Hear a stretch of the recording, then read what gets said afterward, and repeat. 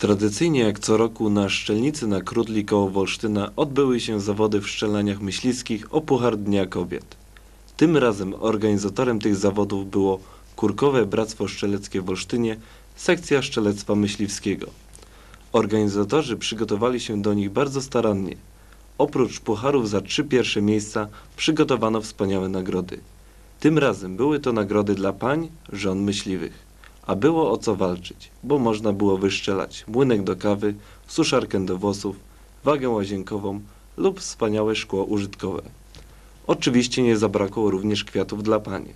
Wspaniałe purpurowe róże zdobiły podczas zawodów stół z nagrodami. W zawodach wzięło udział 43 zawodników. Przyjechali przyjaciele naszej szczelnicy z Poznania, Wrocławia, Leszna, Zielonej Góry, Gorzowa, Obornik. Przybyli również goście z dalekiej Holandii i Belgii. Niespodziewany chłód w sobotni poranek 11 marca zaskoczył wszystkich, ale nie organizatorów. Od samego rana ogrzać się można było przy dużym ognisku, które płonęło do późnego wieczora. Kuchnia pana Jana Kowalskiego serwowała ciepłe i zimne napoje, a także szaszłyki, golonki, kurczaki i kiełbaski z rożna. Sam szef krzątał się w swojej kuchni.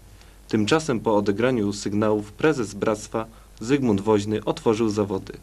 Sędzia główny Marian Joksz przypomniał zasady szczelań oraz zasady bezpieczeństwa na szczelnicy. Potem przystąpiono do ostrych szczelań. W miłej atmosferze, wśród starych i nowych przyjaciół, zawody przebiegły sprawnie i bezpiecznie. Publiczność, którą były rodziny myśliwych i przyjaciele, bardzo dopingowała swych rywali. Po zakończeniu szczelań, w momencie obliczania wyników, ogłoszono dodatkowe szczelania na kręgu myśliwskim. Główną nagrodą był radiomagnetofon.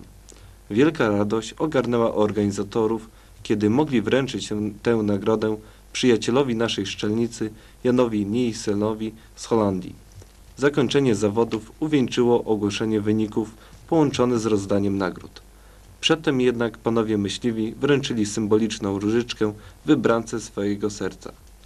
Kierownik sekcji szczelectwa myśliwskiego Grzegorz Dudka miał przyjemność wręczyć nagrody i dyplomy oraz gratulować zwycięstwa najlepszym, którymi okazali się Zygmunt Woźny, Jarosław Przybyła z Wolsztyna, Leszek Radzimski z Leszna, Roman Jurasz z Gorzowa, Jan Nielsen z Mazbre. Nagrodzono uczestników do 20 miejsca. Przygotowano również dyplomy uczestnictwa dla szczelców spoza naszego kraju. Po zawodach, mimo chłodu, nikt nie spieszył się do domu. Nastała bowiem teraz pora na przemyślenie błędów lub cieszenie się z wyniku. Wszyscy wspólnie zasiedli przy ognisku. Dyskusji i konwersacji nie byłoby końca, gdyby nie późna pora i, kilk, i kilkugodzinna perspektywa powrotu do domu. Kurkowe Bractwo Szczeleckie w Olsztynie znowu pokazało, że wychodzi naprzeciw ludziom. Potrafi organizować wspaniałe imprezy, których echo roznosi się po całej Polsce i poza jej granicami.